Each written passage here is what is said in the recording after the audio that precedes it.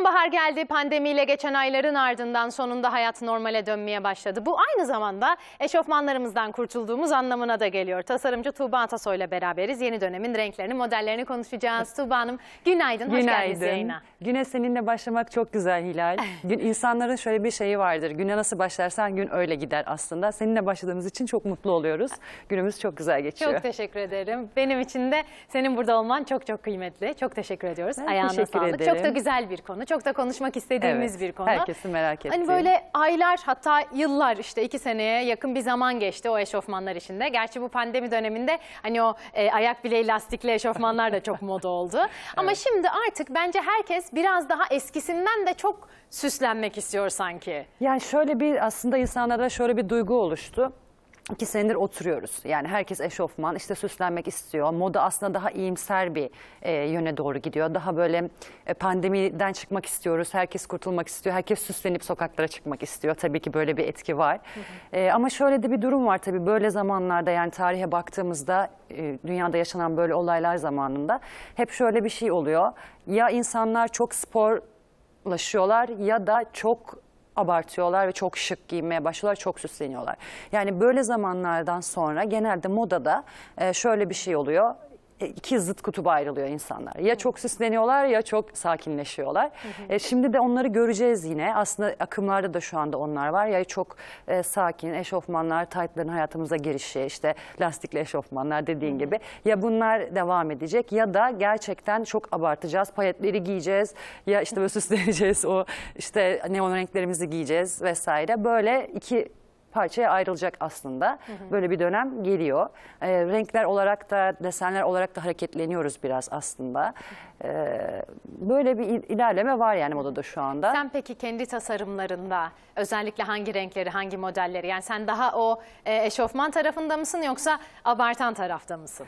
Yani ben aslında ortada kalmayı tercih ediyorum. Çünkü şöyle zaten ben kotür tasarımcısı olduğum için aslında e, kotür birazcık tabii şu anda giyecek yerimiz yok. e, gidecek alanımız yok. davetler yok, eventler yok. E, dolayısıyla biz de şimdi o kotürü biraz daha böyle sokağa hani daha böyle günlük giyime yaklaştırıyoruz.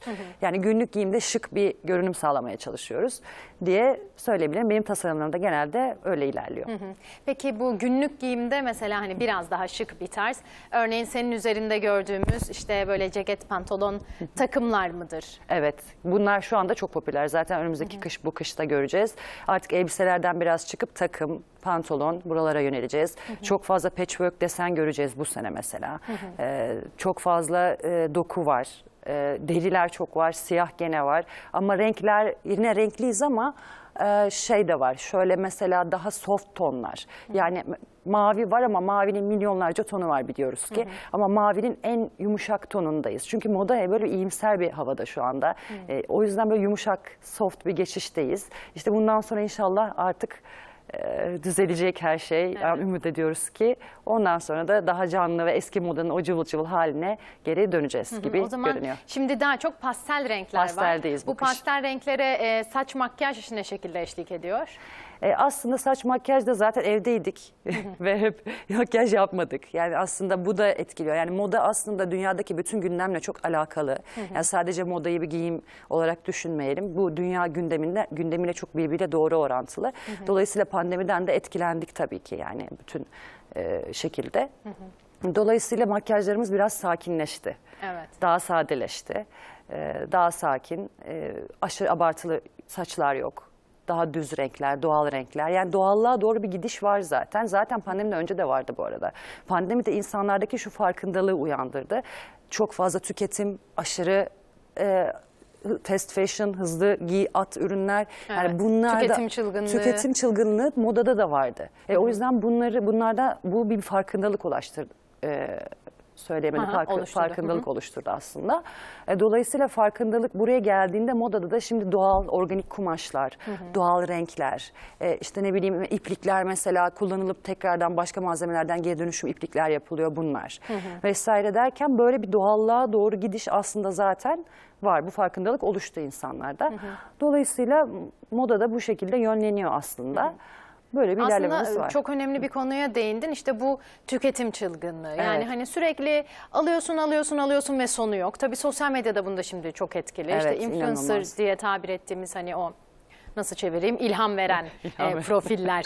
İşte hemen bir şeyler paylaşıyorlar ve hani ihtiyacımız olmayan şeylere bile sanki ihtiyacımız varmış gibi bir algı oluşuyor ve evet aa böyle böyle de bir şey varmış onu da almam lazım bunu da almam lazım. Şimdi moda olarak baktığında ve bir tasarımcı olarak örneğin şöyle bir özet yapabiliyor musun? Üç kilit parçanız olsun. Ha geçmişten de kalan kıyafetlerinizi şöyle şöyle değerlendirebilirsiniz ama işte örnek veriyorum klasiktir ya bir siyah elbiseniz olsun mesela. işte bir çizmeniz olsun. Hani bu sezon için nedir bu olmazsa olmaz kilit parçalar? Aslında bir kere zaten... Ya da her sezon için. Her sezon için aslında var onu söyleyecektim. Çünkü gardırop klasikleri dediğimiz bir şey var zaten. Herkesin gardırobunda olması gereken bazı parçalar var. Bunlar neler? Mesela trench coat. Her sezon giyersiniz.